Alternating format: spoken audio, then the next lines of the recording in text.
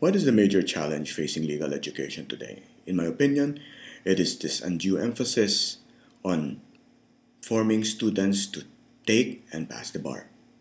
This emphasis and this orientation totally precludes the idea that a lawyer can be anyone other than a practitioner, and that the place of a lawyer is always in the boardroom or in the courtroom.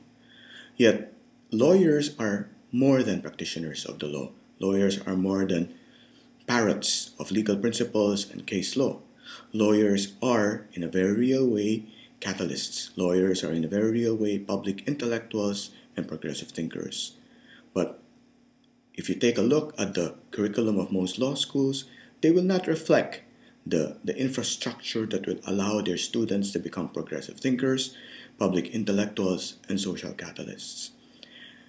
How then should legal education become more relevant and more responsive to the totally changed landscape that the country finds itself today?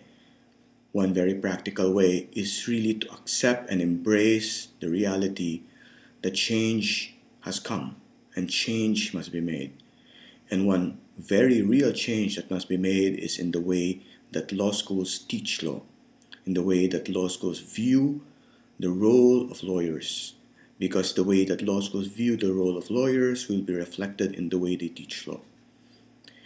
It is my hope that law schools may be encouraged to adopt a more multidisciplinary, multidimensional, even multicultural approach to understanding and teaching law.